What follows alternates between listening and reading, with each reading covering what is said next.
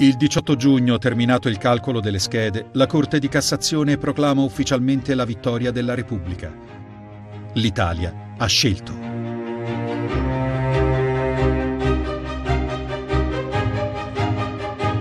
Sulla torretta del Quirinale viene ammainata la bandiera con la croce di Savoia.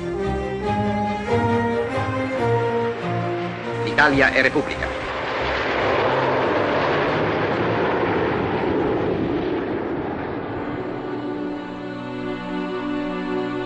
La Repubblica è nata. Gli italiani si lasciano alle spalle una monarchia, una dittatura e due anni di guerra civile. Non è stato facile. Molti non ci sono più. Altri sono vivi e hanno vinto. C'è poi chi ha perso e chi è stato solo a guardare. È l'Italia del 46. Qui inizia la nostra storia Qui oggi inizia il nostro racconto.